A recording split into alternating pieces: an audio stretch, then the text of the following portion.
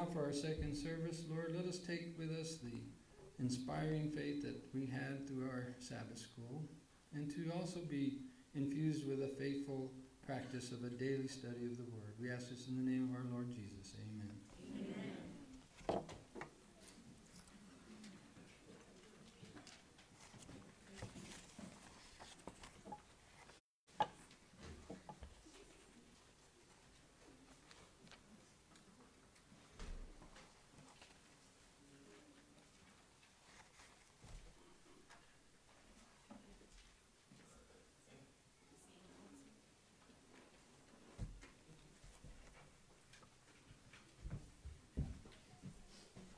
Good morning, everybody. Happy Sabbath.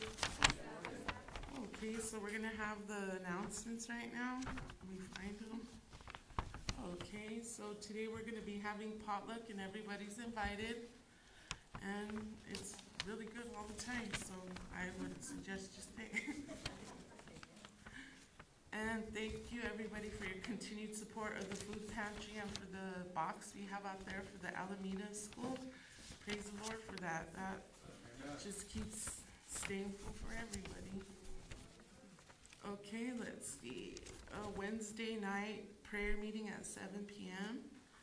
Um, I invite you to come and join everybody that comes to Bible study. I've recently started trying to come too, so hopefully the Lord keeps me going. Okay, let's see here.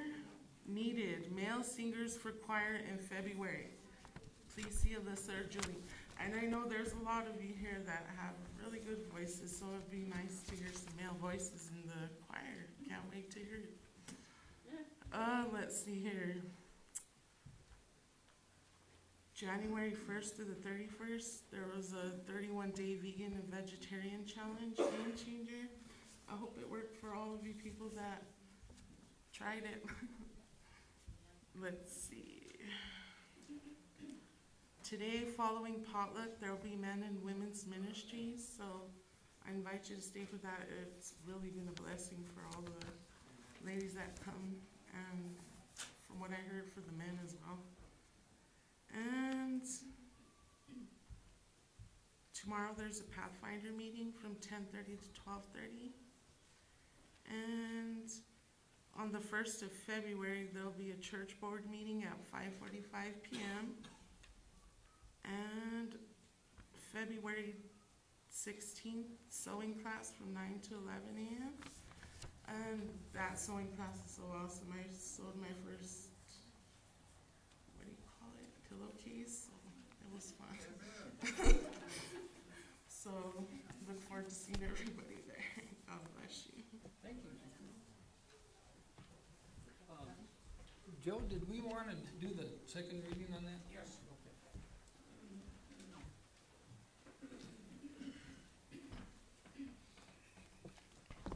Good morning, church. Happy Sabbath. Uh, last week, our last Sabbath, we had the first reading for Perla Ortiz and Diana Rael. Uh, this is our, our second one, so you are now members of Los Ranchos Company. And we are so happy to have you uh, especially uh, Perla, you know that you've been here for a long time. Diane, not taking away anything from your- from your mom, but Perla has been a gem for us in, the- in, in this church. So welcome, welcome to our family. You are now part of our family. Uh, Before, we were like a- having an adopted uh, ladies, two beautiful ladies, but now you are ours. So welcome, and after the services, you can uh, congratulate them and welcome them to our family.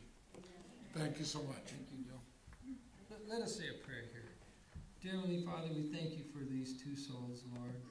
We want, we want to know that uh, our hearts are filled with joy for them joining uh, this congregation, and they have been a blessing, yes indeed, continue to be a blessing, Lord.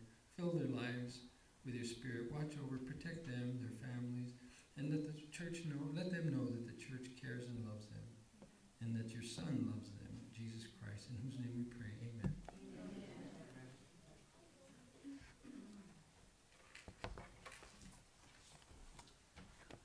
Oh, one, one more announcement. Please stand there.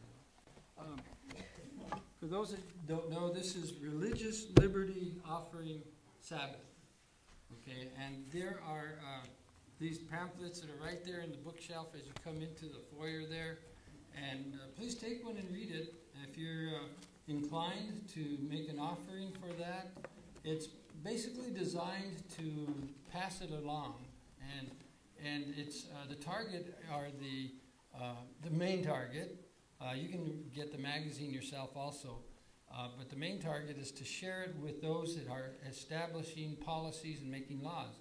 Uh, as, because this is in January, most legislatures are gathering on, uh, in January, such as the one in Santa Fe for the 30-day session.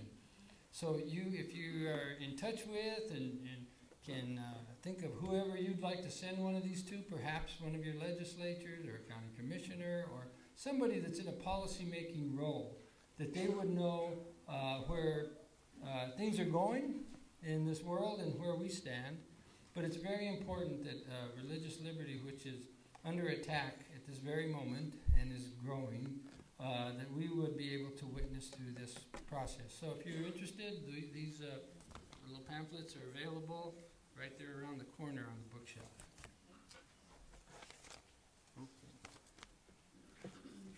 If we could open our hymns to hymn number 626. And if we could all please stand.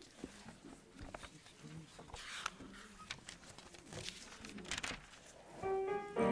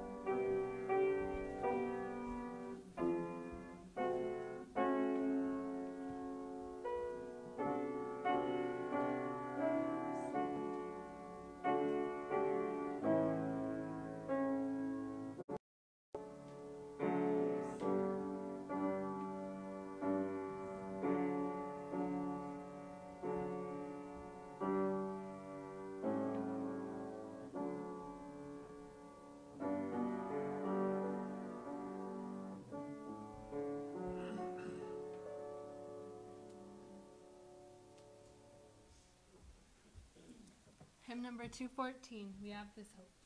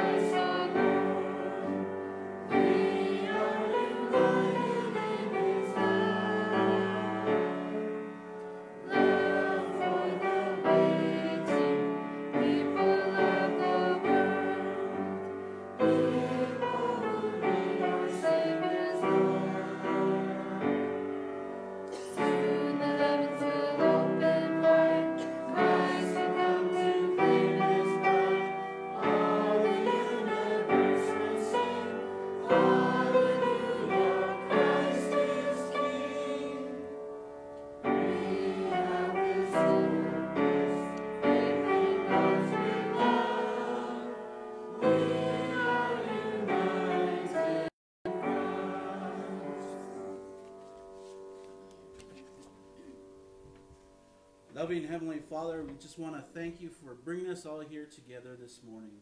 We just ask, Heavenly Father, as we move on upon this next part of our service, that your presence be with us, yours and all the angels that can fit in here, Heavenly Father. And we just thank you for this opportunity and this moment that we can learn more about you and your Son Jesus. We thank you and we praise you and give you all the glory. In Jesus' name we give thanks. Amen.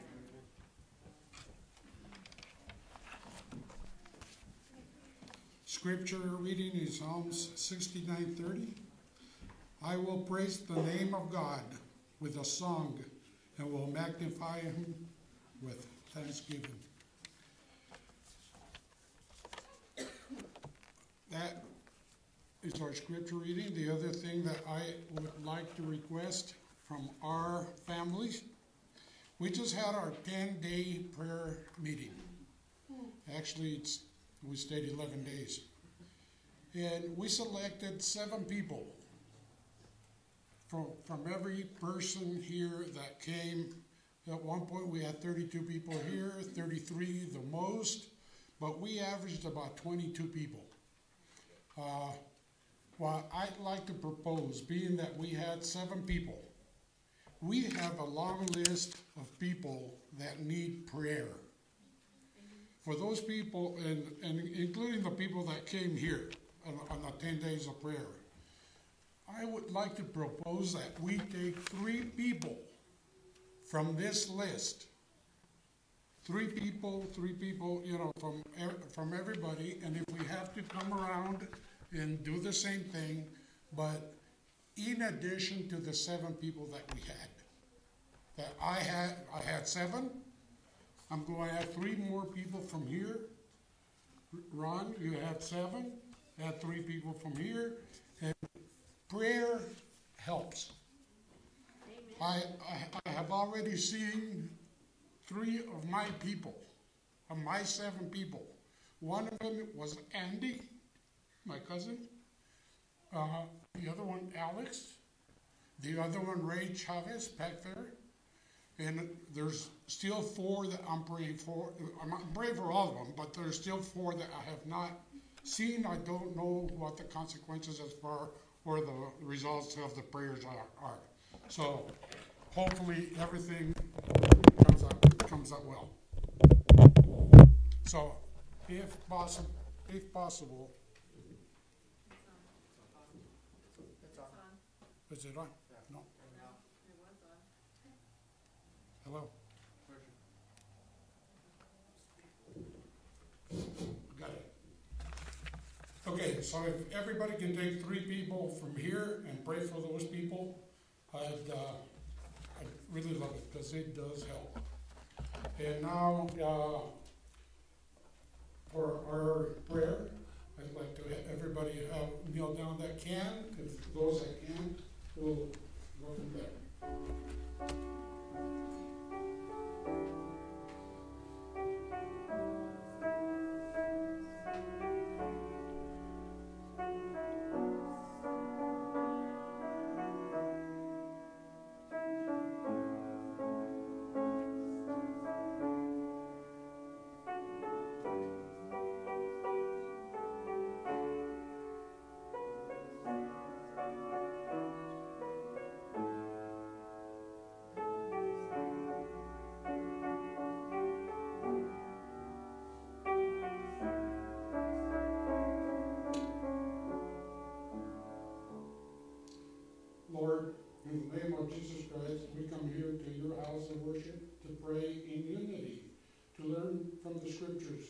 And to learn how the scriptures can guide us to life eternally.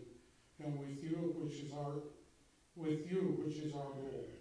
I thank you for bringing us here safely and pray that those that are, that on their way, bring, bring them to your house safely. As you can see, our prayer list is quite big. We need prayers for every one of us, be, be it infirmities, help them in whatever they are asking for. And Lord, don't forget them. There is one lady, which is our cousin, Leila, which lost her daughter Kathy. Kathy, comfort her and give her strength. I pray for all of our family, family church members, and for those who are in need and that are not in our list. I thank you and praise you for our teachers here in Los Ranchos. They do a wonderful job with our children and youths. In clo- in closing, our speaker, Ray Chavez Jr. with Holy Ghost, and let his words be your words that will be filled with the Holy, Holy Spirit, with, and with the- the gifts of knowledge and wisdom so we can understand the scriptures better. Guide us straight and clear lines so we can be with you eternally. I pray this in your name, Jesus Christ, amen. By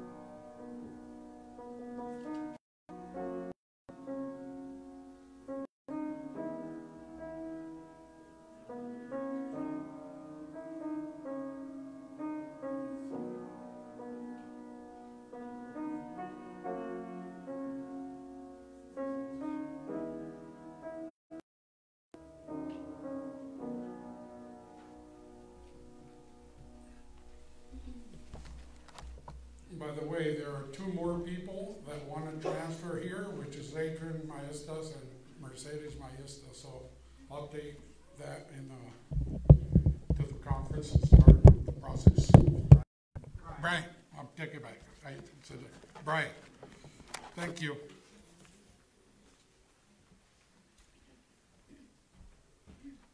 Okay, now I'd like to call up Miss Marisa for children's story.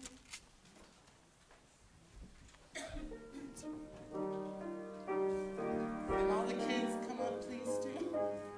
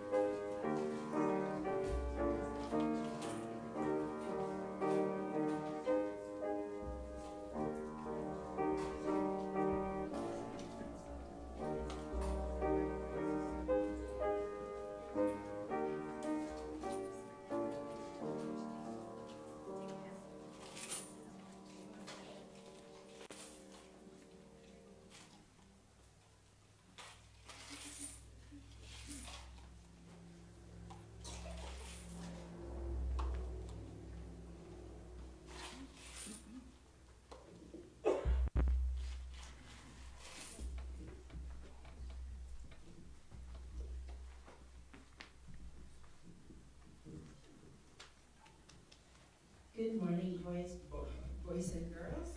Happy Sabbath. Okay, before we start, we're gonna go pray. Who wants to pray? One, two, three. Dear Jesus, thank you for this day. Thank you for what you've done for us in this name. Amen. Amen. Heavenly Father, thank you for this day. Thank you for us to be at church. Thank you for us to be here with Jesus. Help us all to be in heaven.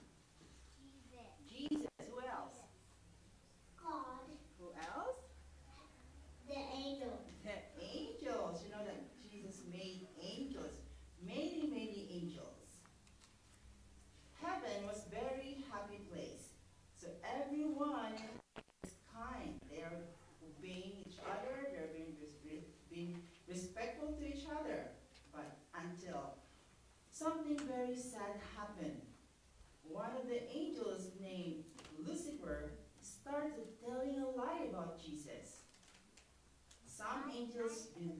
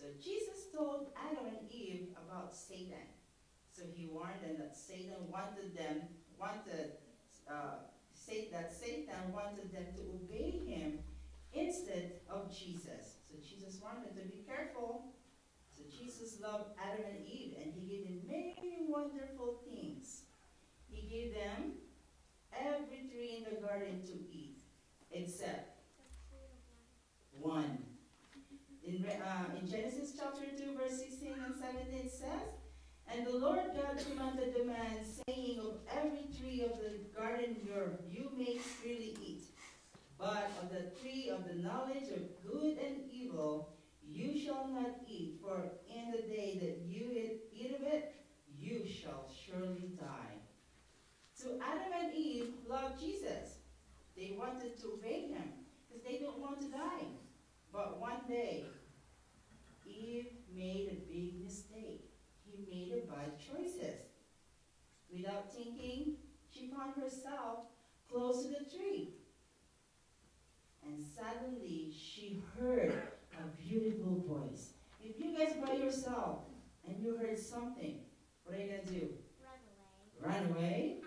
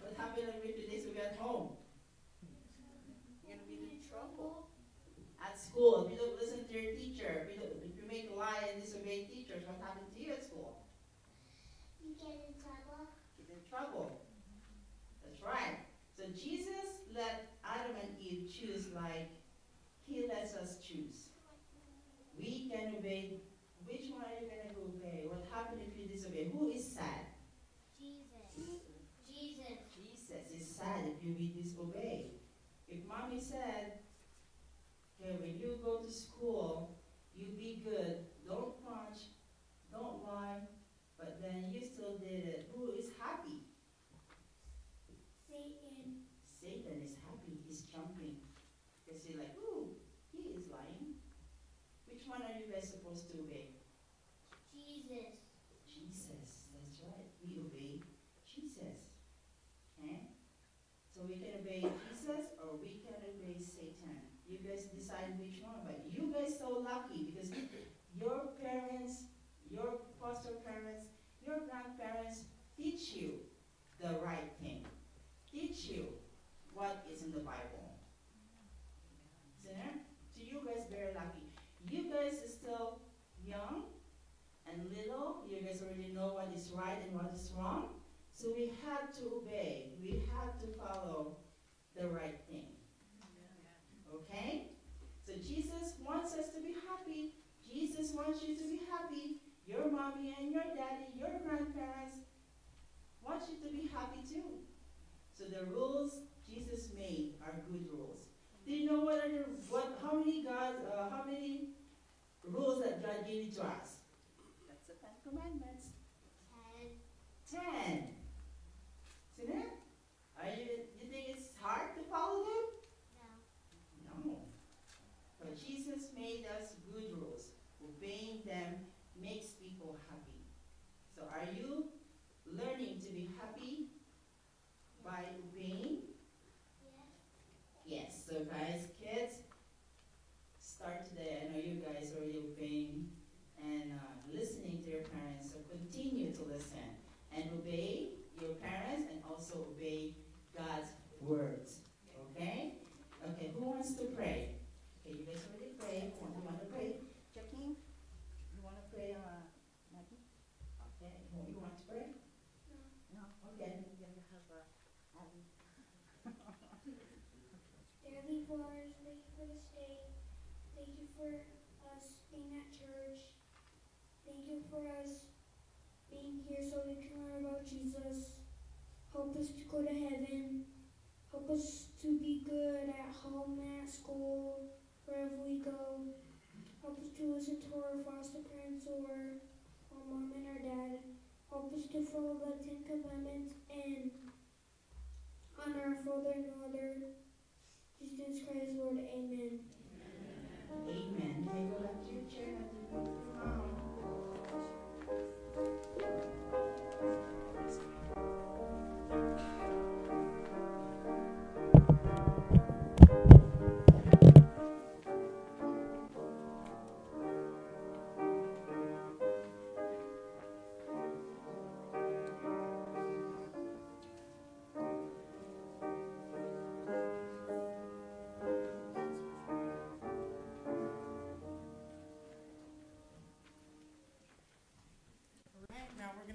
special music. I, special music. Sorry. I'd like to invite Jana. Sorry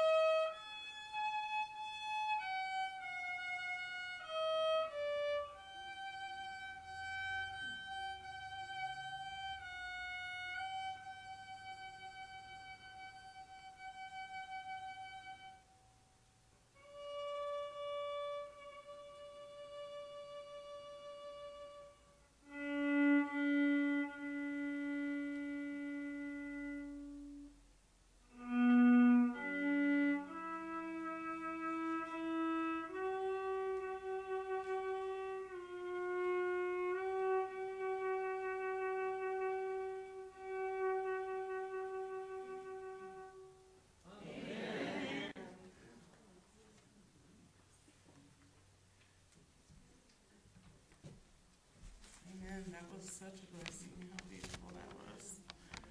Okay, so now it's time for tithe and offering.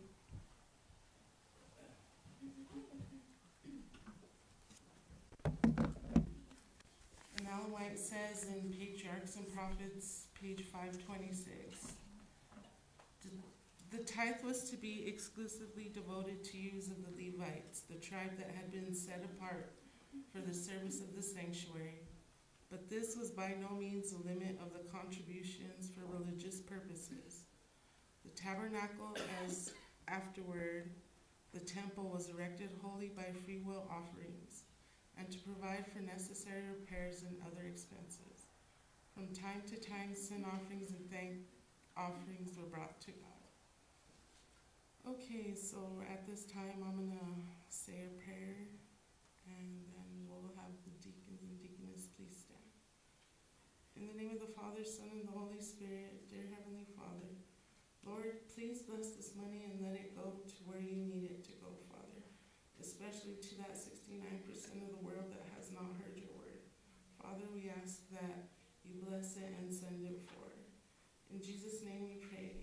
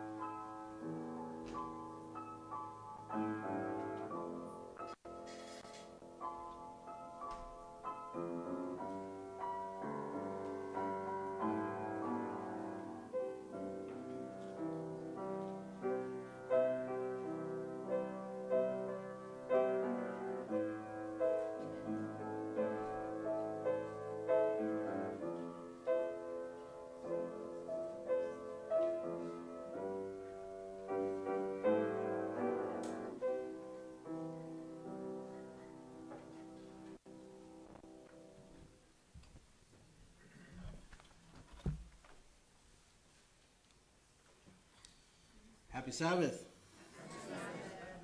It's wonderful to be here with you all here this morning, worshiping you on this wonderful Sabbath day. I was not sure I was going to be able to make it. As most of you know, we had several false alarms with Jessica, and it's been a day by day experience as she's almost ready to deliver the twins. To be honest, I almost called Alex this morning, but we're thankful we were able to come. And I'm thankful I'm able to be here. I'm really thankful that I'm able to share this message this morning because this has been something I've been wanting to speak about for two years. It's just the time, it didn't seem right. Uh, but when I was asked to speak next, it was right there was the message that I had to speak. So I'm glad that I could bring it to you this morning. Now, usually we hear a sermon, we discuss the Bible and its depthness of Scripture, what God has to tell us. But Ellen White says that sometimes there's good times to step away from that and talk about testimonies. Now, the testimonies that I would like to speak about this morning are not our, any of ours here in the sanctuary, but of other people from around the world in the past. And I thought this would be a great timing for this message because around the world in many churches, there are highly, highly heated debates about music in church, in its service, in its worship, and other things. So I would like to speak about hymns that we sing today in church, but tell the true stories of where those hymns came from. I believe sometimes because we sing these hymns and these songs over and over and over again every Sabbath or maybe every Wednesday night prayer meeting or anytime we gather, sometimes we sing these hymns and we don't even know why they were made. We don't even know the message behind them. So I just want to share several stories behind some of the hymns that we normally sing for our worship services. So, with that, let us go ahead and dive into prayer as we ask God for his guidance and his blessing at this time. Loving Heavenly Father, at this moment in time, we come to you and we ask for a blessing a blessing of understanding and a blessing of knowing what these songs truly mean. We just pray, Heavenly Father, that your Spirit be amongst us here, that it dwell with us so much, Heavenly Father, that we could feel it. And as we praise you through learning about song, that you can be glorified through all these things that we learn and we talk about. Bless us now and be with us, we ask. In Jesus' name, amen. So, one of the things that's constantly debated in our various church services, I already brought up, but it's music. But most uh, importantly, what's being said is, why do we need to sing those same old hymns in church all the time? Is that not true? What do many people say? They're boring. That's old. I want new. Why do we constantly have to sing the same things all the time? There's a certain group who says, why can't we just sing new songs? A question I always ask are new songs bad? I would say no, they are not bad. Are old songs bad? I would say no, they are not bad. There are good songs, but there are also bad songs to have during worship service. But sometimes when many people come to me and say, why can't we sing new songs, which is mainly the youth, my answer to this is always this. Let's sing new songs. Great. Let's bring them to our worship service. Tell me a new song in which we could sing that does two things. It honors God in its message, and it honors God in its music. And we can play this new song, and we can be happy. I'm still waiting. For years, I've heard the same thing, I've given the same answer, and I'm still waiting. There are some great songs that are out there that really glorify God with the message, but the music is all wrong. There are great songs that glorify God with the music, but the lyrics and the message are all wrong. It's hard to find a song to where the two come together and create such a song that it makes you understand and feel as if you're in the presence of God Himself. It's very rare these days. Now, I would like to share not only stories, but a scripture. Psalm 69, verse 30. It says, I will praise the name of God with a song, and I will magnify him with thanksgiving. I want you to remember this scripture. Every time you sing a song, remember this scripture. At the end of this message, I'm going to end with this scripture. I'll say it again Psalm 69, verse 30. I will praise the name of God with what? With a song. So you can praise God with music. But I will magnify him with thanksgiving. Have you ever noticed that when we sing, there's not so much thanksgiving in the way we sing? Whether it be hymns, newer contemporary music, however it is, did you notice there's not much thanksgiving? Could it be the reason why some want new music is because we sing these praises like we are at a funeral home? There's no thanksgiving in singing. There's no joy in singing. We sing it as we're in the presence of death rather than in the presence of a living Almighty God. The book Pastoral Ministry in chapter 31 says this Worship music should be cheerful. Amen. Amen. But yet solemn. Those who make singing a part of the divine worship should select hymns with music appropriate to the occasion, not funeral notes, but cheerful yet solemn melodies. The voice can and should be modulated, softened, and subdued. Can we sing music that praises, glorifies God, at the same time being happy and joyful, yet solemn? I believe we can. But sometimes what do we try and do? We try to go to this extreme or this extreme rather than being in the center. And we argue about what side is better when either side is the ditch, the middle is where Jesus wants us to be. Could it be that people want the praise music of today's modern Sunday style worship is because when these people sing, they actually seem happy that they're singing these songs?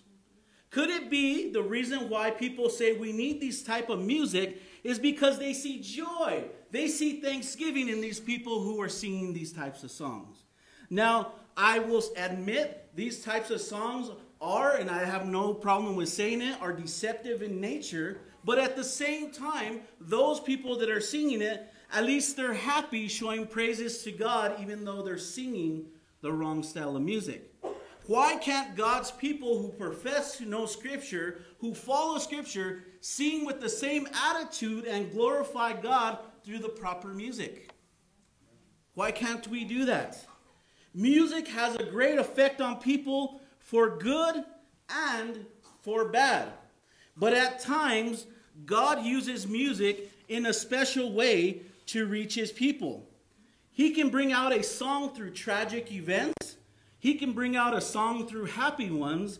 He can even bring out great truth through music by people who are studying Scripture. It doesn't have to be a happy or sad moment that these great uh, hymns that we know it come out of or these newer type musics, but it could be simple and just simply studying the Word of God, and God reveals to them a great, wonderful song that praises Him. So I'm going to share some stories this morning with you. Found out, found, uh, or they're published by a book called Amazing Grace. It's a devotional book. I would encourage you also, if you'd like to purchase this book, also look at our hymn book, part two. It, does anybody have that in their library? If you ever look at our Seventh day Adventist hymn book, part two, it's the stories behind our music and our hymns. It's a companion book. If you want to know why we sing these certain hymns in our church, get the companion book. The book I have here is a companion book, but it's not specifically only for Seventh day Adventists, it's for all the most famous hymns in the world. So, why do we use hymns in our worship? Are they appropriate? What's the message behind some of these popular hymns that we sing? Well, let's look at one. If you have a hymn book or if you have your digital hymn book, however may you, you have it, look at hymn 499. It's entitled, What a Friend We Have in Jesus.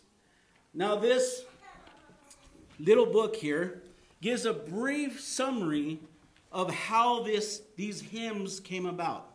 It's not so much in detail, but it gives a brief understanding. Hymn number 499 What a Friend We Have in Jesus. How many of you like that hymn? Raise your hand. Amen, right? The, the title speaks for itself, right? Let's look at the backstory. It says, True friends love and accept us just as we are. They stay close to us in good or in the bad, and is always ready to help in the time of need. Because the author of this hymn text found just a friend in the Lord, he decided to spend his entire life showing real friendship to others. Joseph Scriven wrote this hymn, What a Friend We Have in Jesus. Joseph Scriven had wealth, he had education, he had a devoted family and a pleasant life in his native Ireland where he lived. Then unexpected tragedy entered. On the night before Scriven's scheduled wedding, his fiancee drowned. In his deep sorrow, Joseph realized that he could find a solace and support that he needed only in his dearest friend, Jesus. Soon after his tragedy, Scriven dramatically changed his lifestyle. He left Ireland for Port Hope, Canada, determined to devote all of his extra time in being a friend and helper to others. He often gave away his clothing and possessions to those in need, and he worked without pay for anyone who needed his help. Scriven became known as the Good Samaritan of Port Hope. When Scriven's mother became ill in Ireland, he wrote a comforting letter for her, enclosing the words of his newly written poem. Which poem do you think that was? What a friend we have in Jesus. With the prayer that these brief lines would remind her of a never failing heavenly friend. Sometime later, when Joseph Scriven himself was very ill, a friend came to call on him, happened to see a copy of these words scribbled on a scratch paper near his bed. The friend read the lines with interest and asked, Who wrote these beautiful words? This was Scriven's reply. The Lord and I did it between us, was Scriven's reply. And those words that were written on the poem that gave his mom some hope in the coming of Christ, that gave him hope in the time of ill, is this. You can read in your hymnals. What a friend we have in Jesus. All our sins and griefs to bear. What a privilege to carry everything to God in prayer. Oh, what peace we often forfeit. Oh, what needless pain we bear. All because we do not carry everything to, in, to God in prayer. Have we trials and temptations? Is there trouble anywhere? We should never be discouraged. Take it to the Lord in prayer. Can we find a friend so faithful who will all our sorrow share? Jesus knows our every weakness. Take it to the Lord in prayer. Are we weak and heavy laden, cumbered with a load of care? Precious Savior, still our refuge? Take it to the Lord in prayer. Do thy friends despise and forsake thee? Take it to the Lord in prayer. In his arms he'll take and shield thee. Thou will find what? A solace there. Amongst the trial that his mother was going through, and eventually his, what was his message? God first. What a friend we have in Jesus. Whatever trial you have, whatever problem you're going through, what a friend we have in Jesus. There's meaning to these songs in which we sing every Sabbath or every time we gather. They're just not a song that someone thought up and thought maybe I can make money off of it or maybe this will be famous. These songs were written and they were impacted. God used the tragedy or the or the victories or any other aspects of these people's life to show people that God is faithful to you and me and that he will always be there. And this song shows us truly what a friend we have in Jesus. Amen. The next song we're going to talk about is hymn number 469. Hymn 469. I only have several of these stories. They're some of the most popular ones. Hymn 469. And what is that hymn? Leaning on the everlasting arms. Knowing that Jesus is our friend, but now knowing what? That we can lean on his everlasting arms. Listen to this story. When close friends or family turn to us for comfort in their grief following the loss of a loved one, often we find it difficult to express just the right words of consolation. How many of you have been through that situation where someone has suffered a tragic loss and you're there for them, but you just don't know what to say? That happens all the time. It happens to me more than I like it. I hate being in that situation. One day, successful author and businessman, a devout Presbyterian, Anthony J. Showalter, received sorrowful letters from two different friends. telling them, or excuse me, telling him that they're re- of their recent bereavements. In sending messages of comfort to them, Mr. Showalter included a verse, Deuteronomy 33, verse 27, which I'll read here in a bit. And he concluded in his letters, the thought occurred to him that this verse would be a fine theme for a hymn. Almost spontaneously, he jotted down the words and music for the refrain of this soon to be favorite. Deuteronomy 33, verse 27, the first part where he got his inspiration after these events and reading these letters, says this The eternal God is thy refuge, and underneath are the everlasting arms. So, a lot of these songs you'll find have references to what? Going back to Scripture. It's just not about something someone thought, but it's about teaching a principle or teaching what Scripture has to say. Feeling that he should have some assistance in completing a text based on this comforting verse of Deuteronomy 33 27, Mr. Showalter asked his friend, Elisha Hoffman, a pastor and author of more than 2,000 gospel songs, to furnish the stanzas. The hymn then was published in 1887 in the Evangelical for Revival um, uh, Meetings hymnal. It is not surprising that leaning on the everlasting arms with its assurance of God's steadfast care and guidance and the peace that is ours as we enjoy the im- intimacy of his fellowship had been another of the gospel song favorites enjoyed by all ages. Each day we need to relearn the truths of His Word that we can lean on His everlasting arms. What is, how does the song go? What a fellowship! What a joy divine! Leaning on the everlasting arms. What a blessedness! What a peace is mine! Leaning on the everlasting arms. Now, no wonder why he would send Deuteronomy 33 27 and why this song would be so impactful in his life as he read these two letters by these two different couples who were going through a traumatic loss. Because we definitely do need the peace that only God can give, and the only one that we can truly lean on for that peace is on the everlasting arms of Jesus. Amen? It goes on to say, Oh, how sweet to walk in this pilgrim way, leaning on the everlasting arms. Oh, how bright the path grows from day to day, leaning on the everlasting arms. You see, these verses are showing a progression of that peace that God gives, even through tragedy. What have I to dread? What have I to fear? Leaning on the everlasting arms. I have blessed peace with my Lord so near, leaning on the everlasting arms. How many of us have been through such a great tragedy that nothing in this world can really give us comfort, but we can only, we finally realize we can only find comfort in the arms of Jesus. And this is what this song is speaking about. How many of you knew that and understood that, that every time we sang it, that's what it meant, or that's where the song came from? You know, sometimes we don't take the due diligence to study what we actually know or learn or what we sing, and then we lose sight of why we sing it.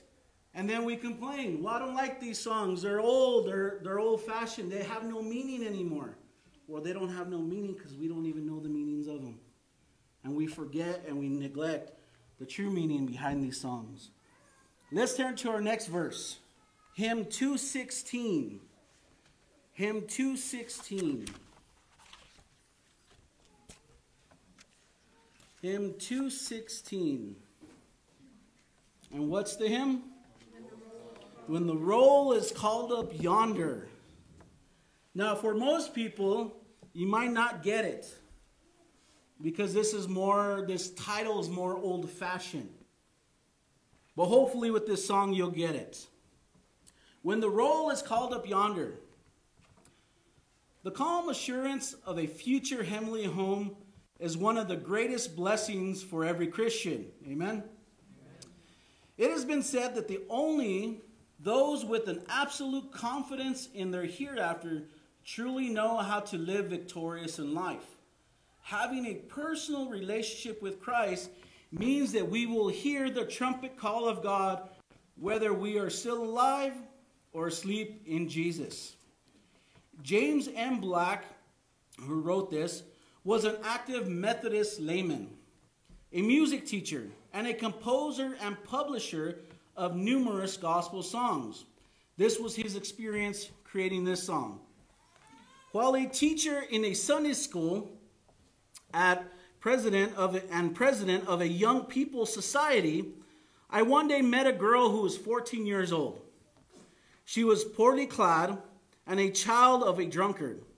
She accepted my invitation to, a, to attend the Sunday school and to join Young People's Society.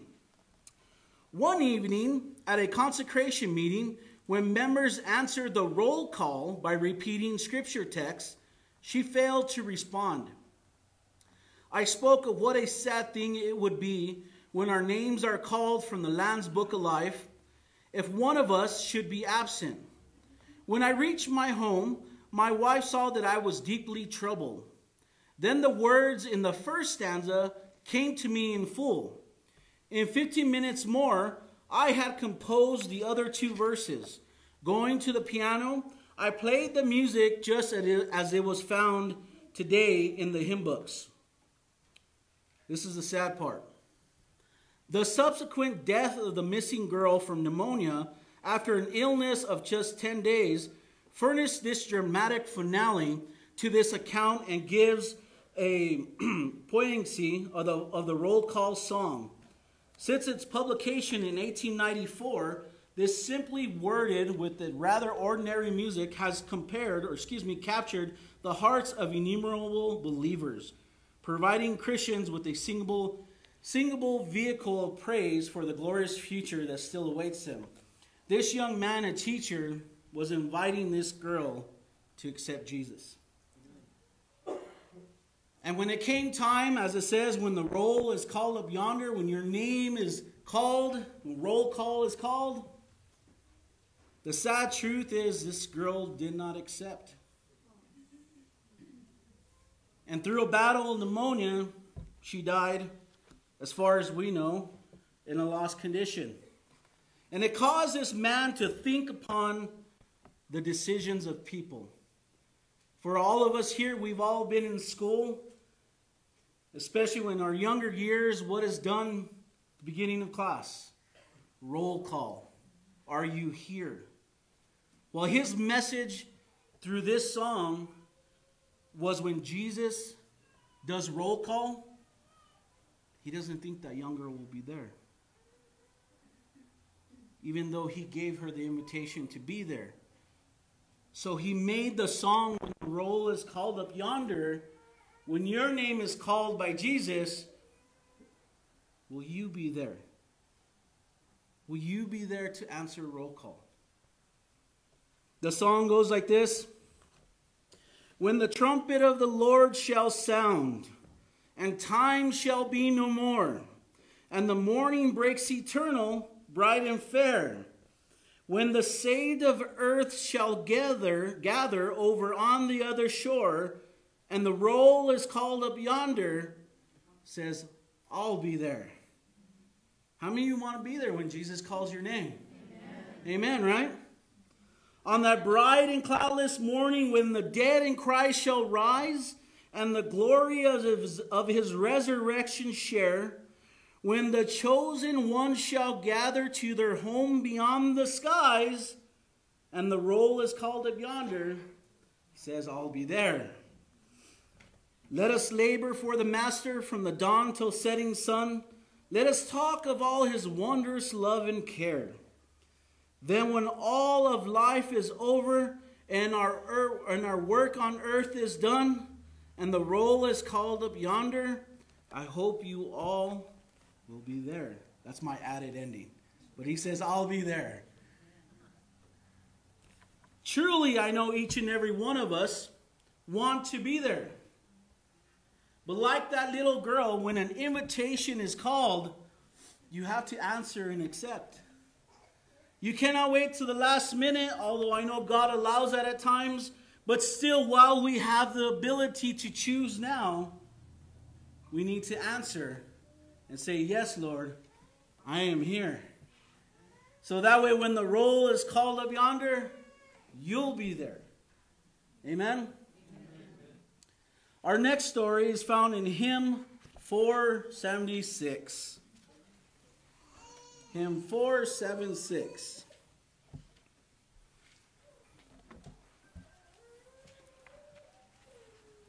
The hymn is entitled Burdens Are Lifted at Calvary.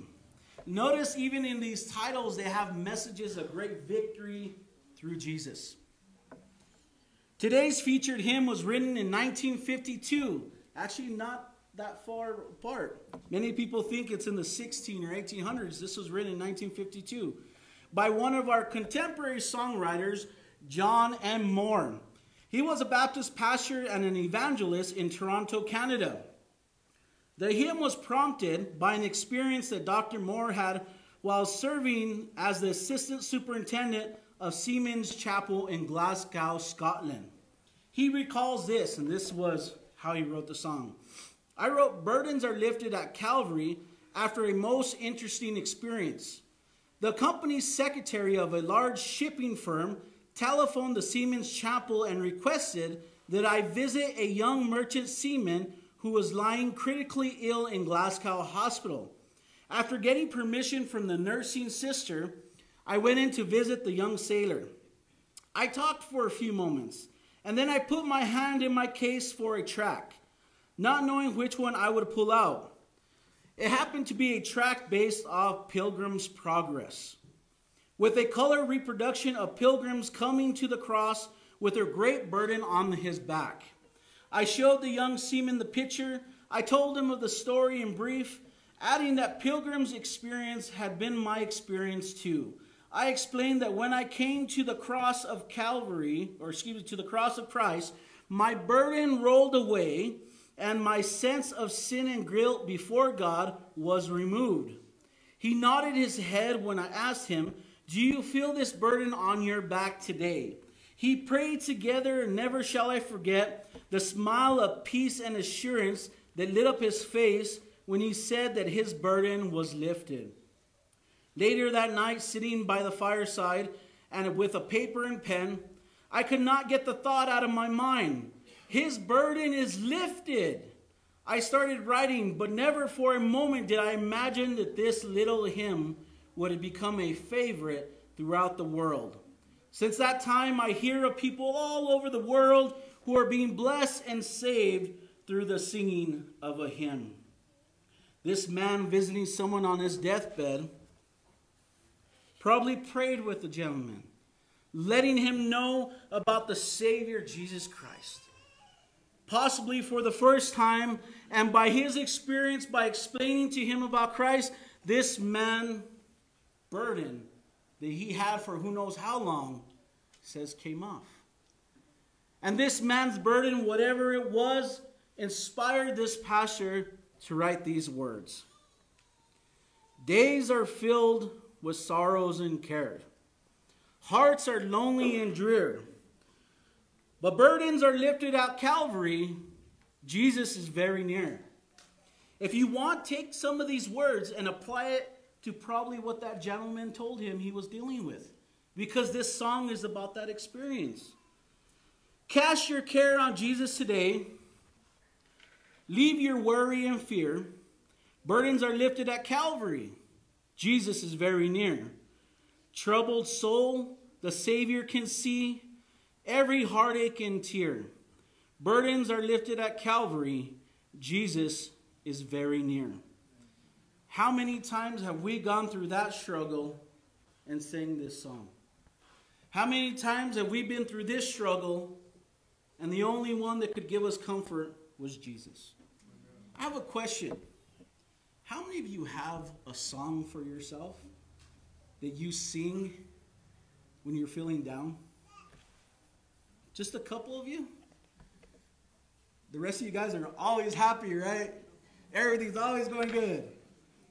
I would encourage you get a song. Have you ever heard that song, He's Able?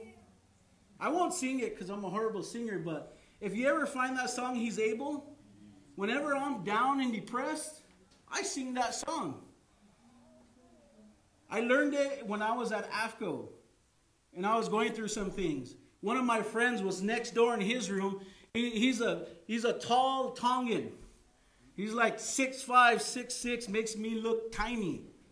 And he was singing in his, his, his room, and those Tongans and Samoans have wonderful, beautiful voices. And he's singing that song. And me still being a new Christian, I'm like, what is that song? Never heard that before. He brought happiness to me when I was listening to him next door. And guess what? He taught me the song. And ever since then, I've never forgotten that song. And sometimes when I'm depressed or I'm going through issues, I have problems at work, whatever, I sing the song and immediately it cheers me up. Why? Because Jesus is in that song. His promises are in that song. He's going to lift me up. He's able to conquer anything that I go through. He's able to set me free. Get a song. Open up a hymn book. Find one of your favorites. It will cheer you up in the time of gloom and doom. It will cheer you up when you need Jesus most. Because not only do we praise God by Scripture, but we praise God how? Through song and singing. Our next one we find is hymn number 530. We have two more left. Hymn number 530. And this hymn is entitled, It is Well with My Soul. Inner peace through an implicit trust in the love of God is the real evidence of a mature Christian faith. I love that. Let me read that. Inner peace through an implicit trust in the love of God is real evidence of a mature Christian faith. Only with this kind of confidence in, his, in the Heavenly Father could Horatio Spafford experience such heart wrenching tragedies as he did, and yet be able to say, It is well with my soul. This is this man's experience. Horatio Spafford had known peaceful and happy days as a successful attorney in Chicago. He was the father of four daughters, an active member of the Presbyterian Church, and a loyal friend and supporter of D.L. Moody. Has anybody heard about D.L. Moody? He was a contemporary of Ellen White. Even Ellen White praised a lot of the things that he did during her time. She has great respect, talks a lot of good things about D.L. Moody and other evangelical leaders of his day. Then a series of calamities began, starting with the Great Chicago Fire of 1871. Does anyone remember that? Okay, for those of you who raised your hand, you weren't born yet, so you don't remember that. I just, just wanted to throw that out of there. Okay, so it started with the Great Chicago Fire of 1871, which wiped out the family's extensive real estate investments. When Mr. Moody and his music associate, Ira Sankey, left for Great Britain for evangel- evangelicalistic campaign, Spafford decided to lift the spirits of, of his family by taking them on a vacation to Europe.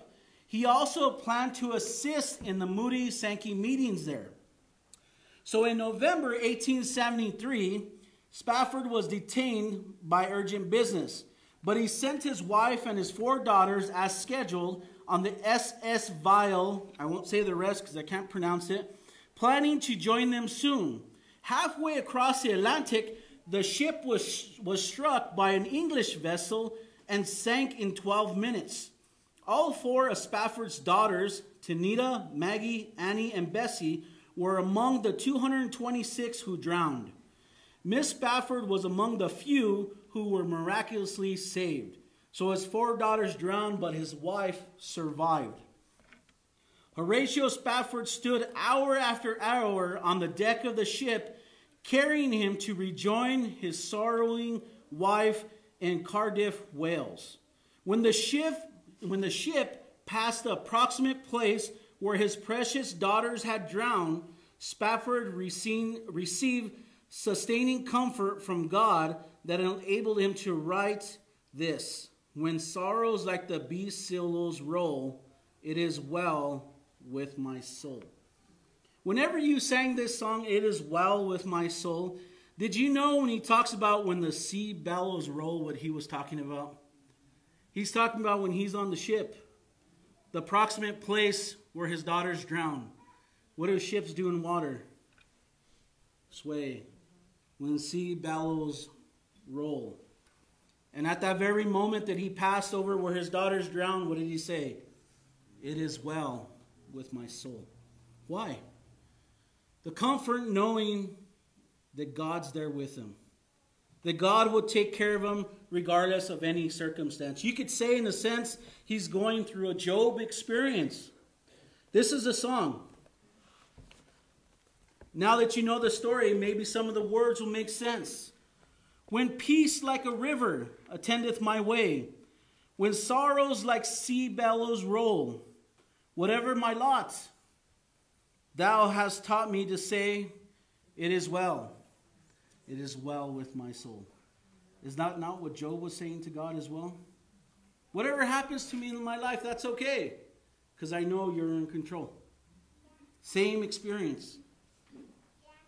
Though Satan should buffet, though trials should come, let this blessed assurance control that Christ has regarded my helpless estate and has shed his own blood for my soul.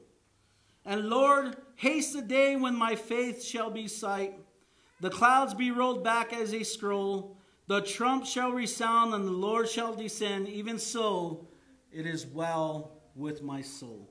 Talking in the beginning, in the first stanza, about his tragedy, and ending with what? The second coming of Christ, when what happens? Those who are dead in their graves are awake again to meet Jesus in the air. What is he looking forward to? The second coming and seeing who? His daughters rise when Jesus calls. When you, I hope when you hear these hymns again and you sing them, you'll have a better understanding. Our last hymn is hymn number 524. Hymn 524. And it's entitled, Tis So Sweet to Trust in Jesus. Out of one of the darkest hours of her life, the tragic drowning of her husband, a young mother proclaimed through her tears, Tis so sweet to trust in Jesus. And I know that thou art with me and will be with me till the end. Louisa M.R. Stead is the author of Tis So Sweet to Trust in Jesus. Her husband and her little daughter were enjoying an oceanside picnic one day. A drowning boy cried for help. Mr. Stead rushed to save him, but was pulled under by the terrified boy. Both drowned as Louisa and her daughter watched helplessly. During the sorrowful days that followed, the words of this hymn came from a grief stricken wife's heart. Soon after this, Mrs. Stead and her daughter left for missionary work in South Africa. After more than 25 years of fruitful service, Louisa was forced to retire because of ill health. She died a few, few years later in southern Rhodesia. Her fellow missionaries had always loved Tis So Sweet to Trust in Jesus and wrote this tribute after her death. We miss her very much, but her influence on, on excuse me, but her influence goes on as our 5,000 native Christians continually sing the hymn in their native language, Tis so sweet to trust in Jesus. Out of a deep human tragedy early in her life, Louisa Stead learned simply to trust in her Lord. She was used to praise of his glory for the remainder of her life, and still today her ministry continues each time we sing and apply the truth of these words. And her daughter, I forget her daughter's name, actually continues as a missionary in that same area where her mother started. And they constantly, every time they have worship service, will sing a tribute to her because she taught them to learn about Jesus. Then, no matter, regardless what happens in your life, it's sweet to trust in Jesus. They sing it as a tribute to her because she taught them the most important thing they could ever learn. And that is getting to know Jesus and trusting in Him. Here are the words to this song Tis so sweet to trust in Jesus, just to take Him at His word, just to rest upon His promise, just to know thus saith the Lord. Oh, how sweet to trust in Jesus, just to trust his cleansing blood, just in simple faith to plunge me neath the healing cleansing flood. Yes, 'tis sweet to trust in Jesus, just from sin and self to seize, just from Jesus simply taking life and rest and joy and peace. I'm so glad I learned to trust thee, precious Jesus, Savior and friend. And I know that thou art with me, wilt be with me to the end. Amen. When we sing these songs, let us just not think of them as songs that we sing for worship, but let us understand the true meaning of what each song was made for. That's uplifting Christ, not as today's music is uplifting self. These songs were to lead us to Jesus. In the devotional, The Faith I Live By, chapter 236, entitled August 24th, Ellen White says this Speaking to yourselves in psalms and hymns and spiritual songs, seeking and making melody in your heart to the Lord. That's found in Ephesians 5:19. The melody of praise is the atmosphere of heaven. Think upon that. The melody of praise when you sing is the atmosphere of heaven. And when heaven comes in touch with earth, there is music and song.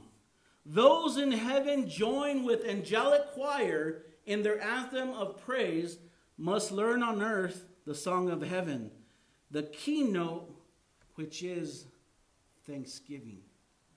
What does she say we must learn through praise of singing? Giving thanksgiving. What did I tell you to remember in the beginning? What was our scripture verse? Psalm 69, verse 30. I will praise the name of God with song, and I will magnify him with thanksgiving. Praise God. Let us close with the word of prayer. Loving Heavenly Father, I just pray that as we learn simple stories in regards to why these hymns were created and why it is we sing them during our service. I know at times we may have arguments. I know at times we may have differences.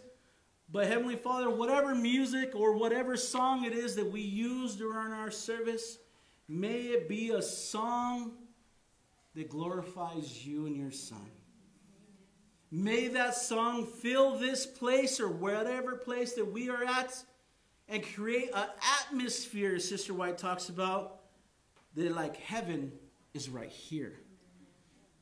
We just ask Heavenly Father that when we do these things, that we ask your presence. We praise you and we thank you for giving us the ability to praise you through music, praise you through song. May we, as we decide in the future what is right, may we look at these things and only ask the one question Does this song, does this music lead me to Jesus? And if it does, I pray that you will give us that wisdom on how to use it. We thank you, Heavenly Father, for this wonderful Sabbath day. We thank you for everyone here. We thank you for giving us these messages of hope through song.